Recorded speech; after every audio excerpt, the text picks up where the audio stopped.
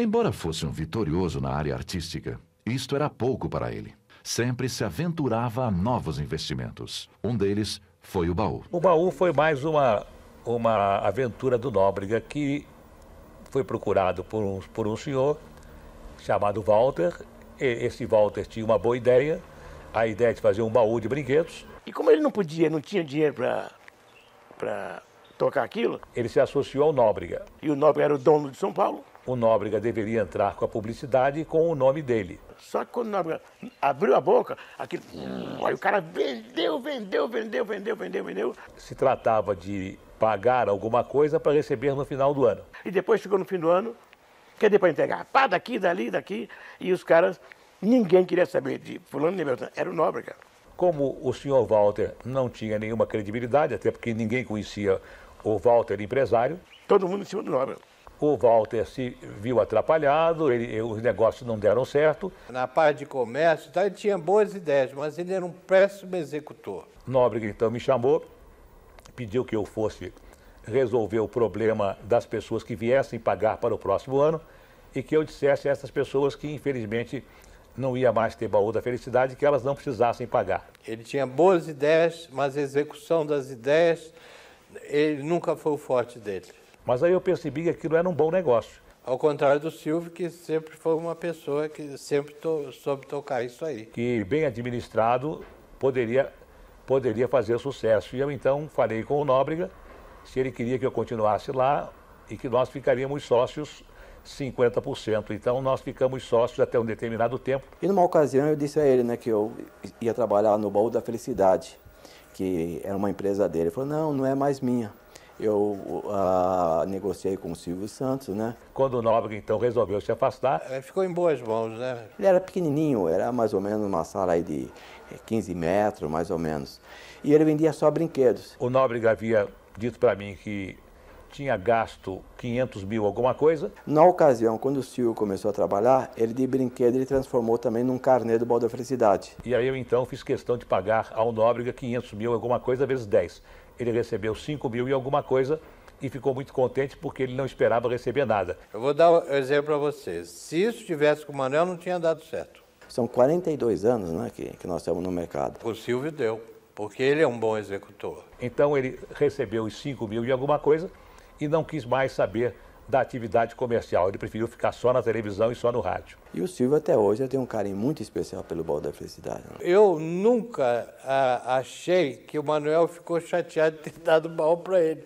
Ele deu uma coisa para uma pessoa capaz. Mas foi uma semente, foi plantada e aí foi melhorado. Nem Manuel foi bobo, nem deu a galinha dos ovos de ouro. Quem tornou a galinha de ovos de ouro foi o Silvio, a partir de uma ideia ótima. Então o sucesso realmente é lógico, certo? E depende da criação e a forma de venda do Silvio. Que, muito abençoadamente, soube tocar e ganhou aquilo de mão beijada.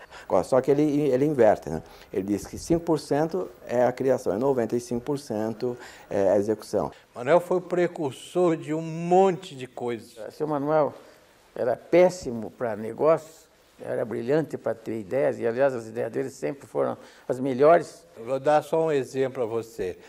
Ah, tem um- um- uma, uma propaganda de uma determinada agência aí de seguros que mostra um sujeito pescando tranquilo. Não é? Até hoje isso existe. Isso foi feito por meu irmão, sei lá, há 60 anos atrás. Não é? As ideias que ele tinha eram fantásticas. Nem tudo foi um mar de rosas.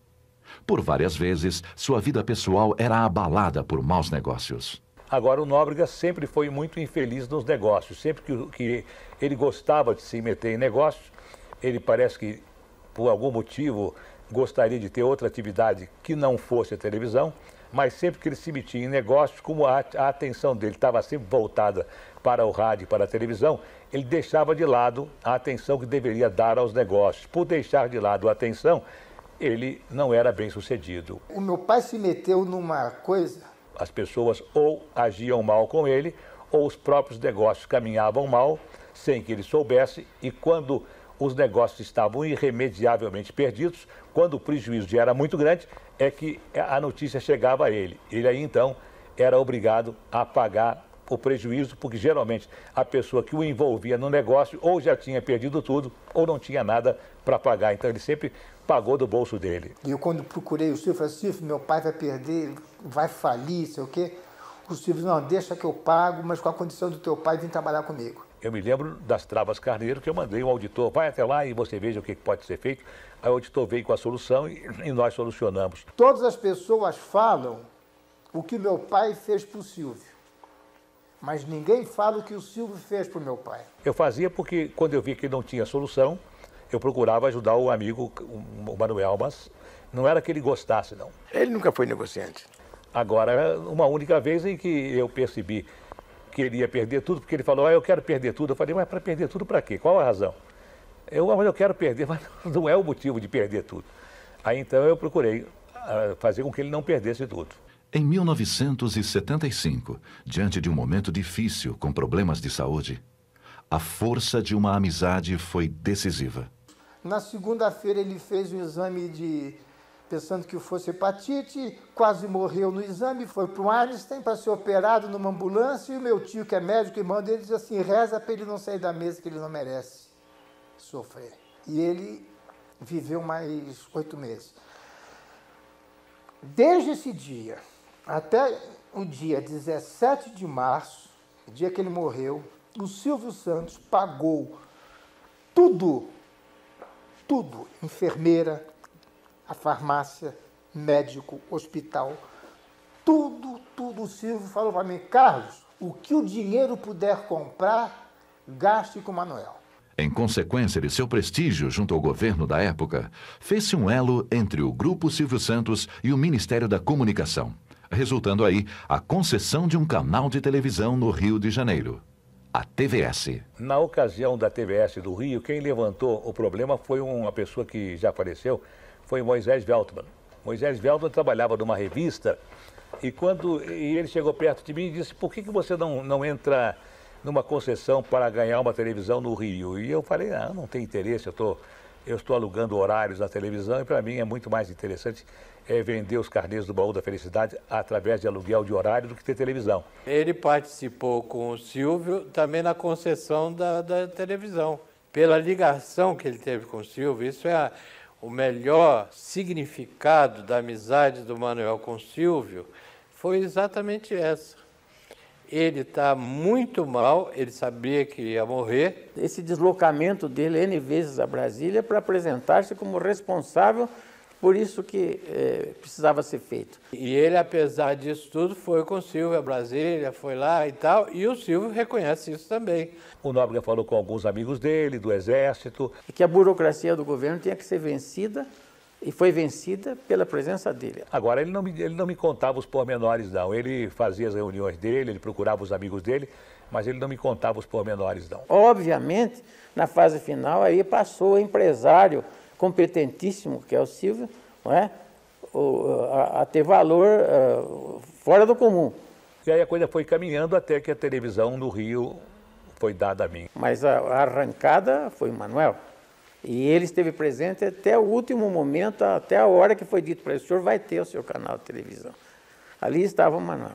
Tanto que no programa que o Carlos Alberto iniciou, a Praça é Nossa, no primeiro programa, o Silvio estava lá, e mostrou a, a filmagem do Manuel com ele recebendo, com o Manuel fazendo até um discurso, uma coisa pequena lá, porque o Manuel tinha muito prestígio. Aí uma figura me disse assim, é, bom, se o Manuel vier, nós poremos um tapete vermelho desde o gabinete do ministro até a calçada, para receber esse homem que nós todos admiramos e respeitamos. Como eu disse no início, o Nóbrega fazia muitas coisas ele sozinho e ele não avisava ninguém. Quer dizer, eu tenho a impressão que ele trabalhou muito para que essa televisão fosse entregue a mim no Rio de Janeiro, que era a primeira televisão. As pessoas confiavam no Manuel, não é?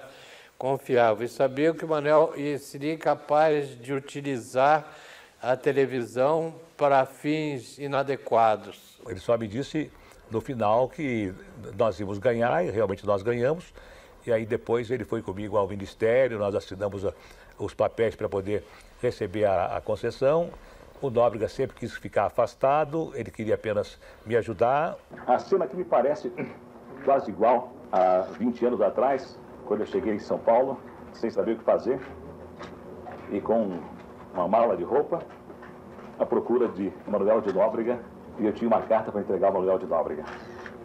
Mas eu não sei por que razão eu não quis entregar a carta, não, porque coincidentemente se realizava na Rádio Nacional um teste para locutores. Depois eu entrei para a rádio sem conhecer o Nóbrega, porque eu conheci o irmão dele lá em Niterói.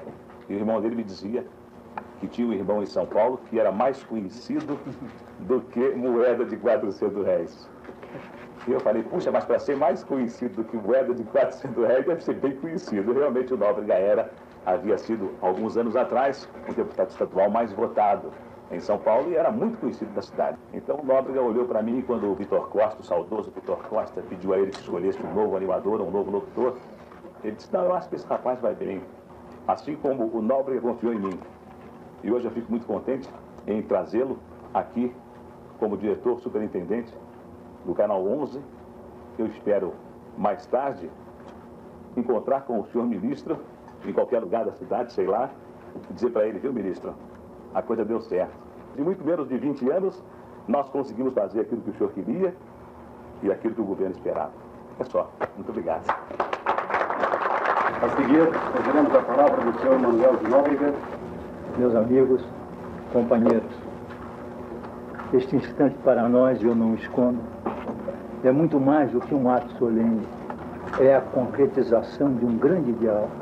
E Vossa Excelência não tem por que estranhar que um homem beirando os 63 anos de idade fale em futuro. Vossa Excelência hoje conhece bem cada um de nós. Por isso sabe que somos filhos de imigrantes, estrangeiros que escolheram o Brasil para nele reconstruir uma nova vida. E porque sabíamos que os nossos pais confiavam em nossa pátria, que nos atiramos à luta no desejo de tornar o Brasil muito maior, para que eles não se arrependessem de ter escolhido o Brasil como segunda pátria. Pois bem, Excelência, lutamos e vencemos. Nunca nos afastamos da ética. Nunca pisamos nos que caíam e nunca empurramos os que estavam à nossa frente. E assim vai ser também, Excelência, a nossa luta dentro do Canal 11. Vamos somar, não diminuir. Vamos multiplicar, não dividir. Vamos construir, não destruir.